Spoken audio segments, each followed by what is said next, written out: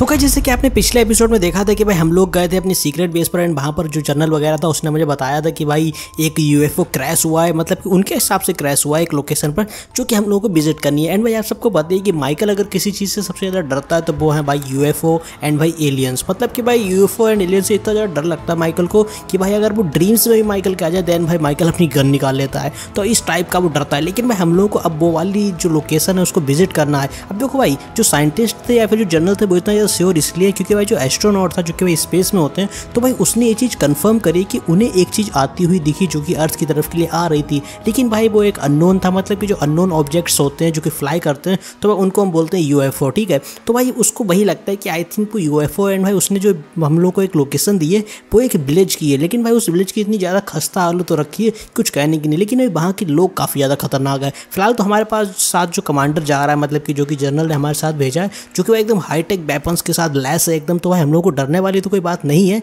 लेकिन भाई ज़ाहिर सी बात है, हमारे पास भी गन है, फ़िलहाल तो कोई नहीं बात है। लेकिन भाई, देखो तो बात ये कि अगर सबसे, अगर मतलब वही बात है, अगर सौ, दो सौ, तीन सौ, चार सौ लोग होंगे दैन भाई हम लोग को दिक्कत हो सकती है। फ़िलहाल तो हम लोग लेंगे एक छोटा सा शॉर्ट कट क्योंकि भाई हम लोग रोड रोड जाएँगे तो वह ज़ाहिर सी बात सबकी नज़रों में भी आ सकते हैं। मतलब कि जनरल साहब कहा था एंड भाई जो साइंटिस्ट था, उसने भी साफ़ कहा था कि बिना किसी नज़रों में आए हम लोग को ये मिशन करना है। एंड भाई ये मिशन एकदम टॉप सीक्रेट है। मतलब कि किसी को पता नहीं चलना चाहिए कि हम लोग किसकी मतलब कि खोज कर रहे हैं भाई हम लोग को क्या चाहिए, ठीक है?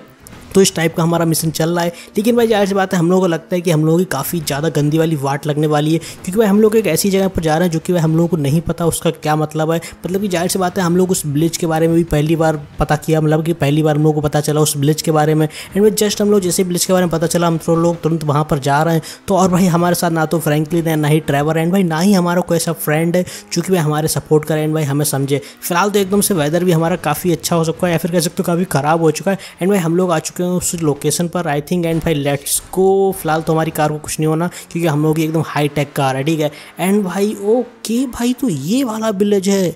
भाई साहब, ये लोग कहाँ पर रह रहे हैं? मतलब कि माउंट एवरेस्ट के नीचे मतलब कि माउंट चिलियार्ड के नीचे। एंड भाई जस्ट यहाँ पर इतना ज़्यादा कबाड़ पड़ा है। ओ शिट ब्रो भाई, एक सेकेंड यहाँ कोई दिख क्यों नहीं रहा है? ओ भाई वो एक सेकेंड भाई, वो क्या है?